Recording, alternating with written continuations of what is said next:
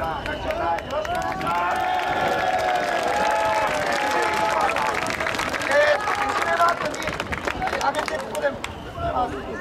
の後良い糸で天天橋の真ん中まで持ってってくださいそれで天天橋の真ん中でもう一回振ってもらうその後天天橋振り切ってからまた振ってもらうという形になるのでよろしくお願いしますあのグリーンでグリーンの大きいのもそこの天気気をつけてくださいよろしくお願いします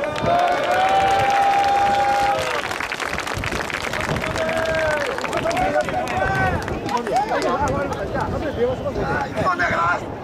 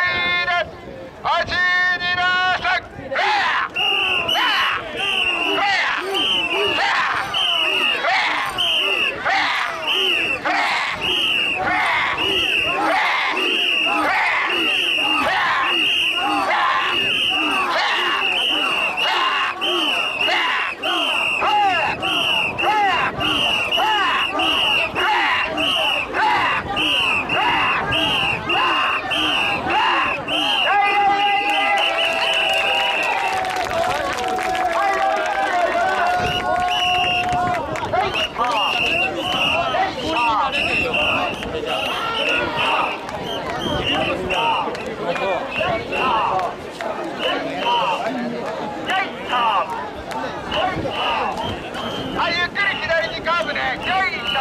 よいしょ。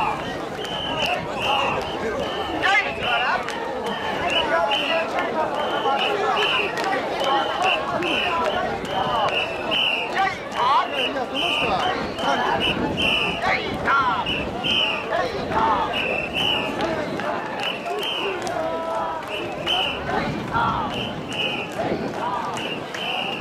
ょ。へ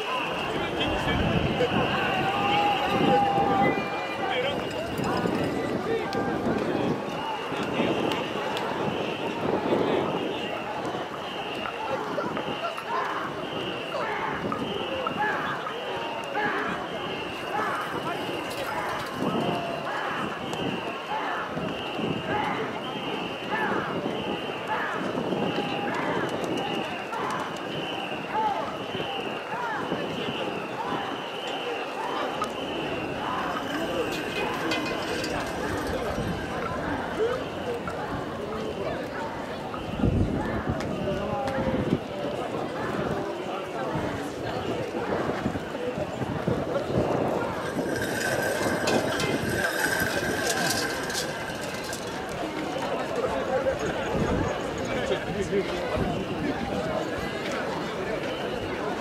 へいへい、皆さん。へいへい。セリフ。これが。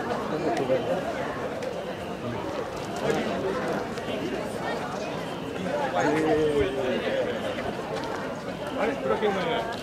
何。はい？